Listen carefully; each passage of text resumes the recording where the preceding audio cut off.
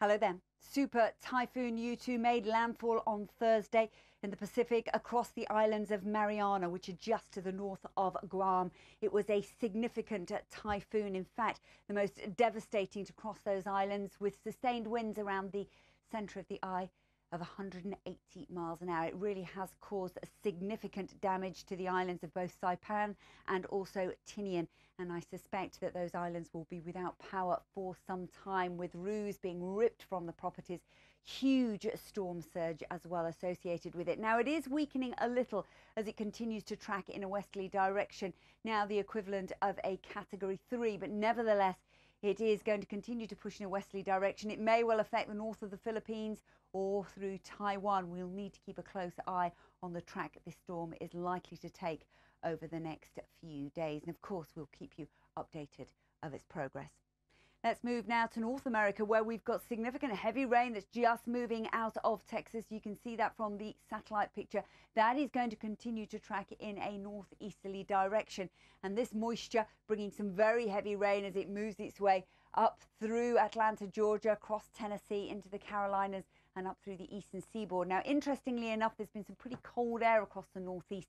And as that warmer air just bumps into the cold air, there could be some significant snow to come on the leading edge of it as well. At the same time, out to the west is a little bit quieter as we start the weekend, but more rain is coming in to British Columbia, perhaps.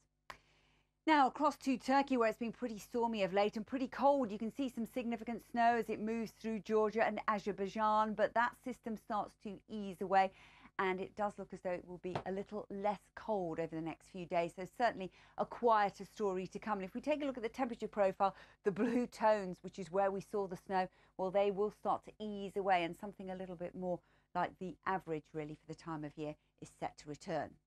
But we're heading for a cold snap into Europe over the next few days as northerly winds descend down across the UK into France, the Low Countries and Germany.